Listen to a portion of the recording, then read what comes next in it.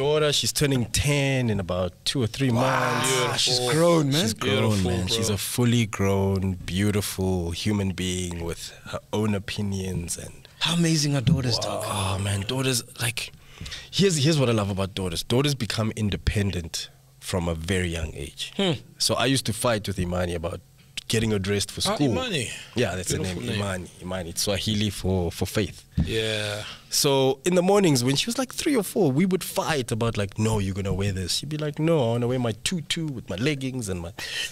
And I remember at some point I took her to school and I tried to apologize to the teacher. Yo, man, like I know, like this doesn't make sense. And they were like, no, no, no. You encourage. You have to encourage them to be independent. Ah. So so let her do things herself. And with her, I've never had a baby baby phase. Like we we've spoken our whole Since. relationship Yeah. daughters dog girls girls are just smarter than us Yeah, right they are. they are emotionally intelligent uh they way ahead their emotional intelligence is, is way ahead of ours 100%. that's why they say uh, there's like a four year Yeah, five gap, years. four or Yes, five yes, year gap.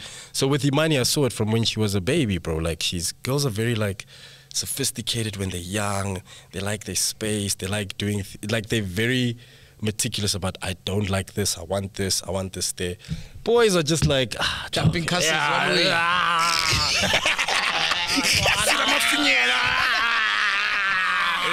Mama, mama, mama.